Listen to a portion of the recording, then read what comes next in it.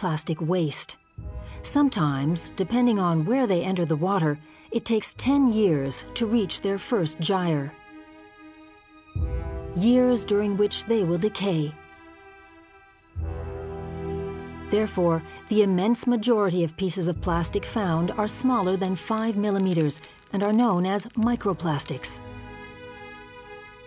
And far from what is usually assumed, these zones look nothing like the plastic continents that are often talked about.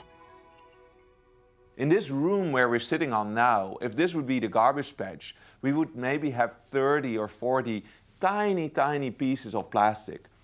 The garbage patches are a very thin soup of very small pieces of plastic. They are not islands of trash, they are not continents, nothing like that. These microplastics have drawn the attention of many scientists. They are at the heart of the problem because they are much more numerous than macroplastics and their ability to enter the environment seems infinite.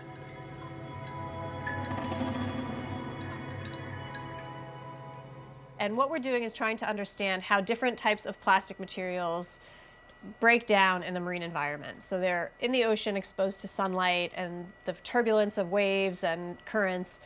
And they somehow have gone from a large item to microplastics. And we don't know how long that takes, and we don't know how different that is for certain types of plastic versus other types of plastic.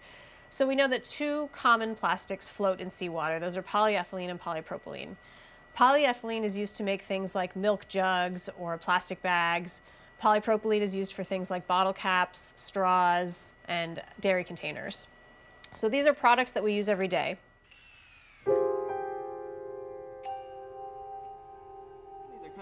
Kara Lavender Law looks at how pieces of polyethylene and polypropylene fragment and which are more resistant or more fragile.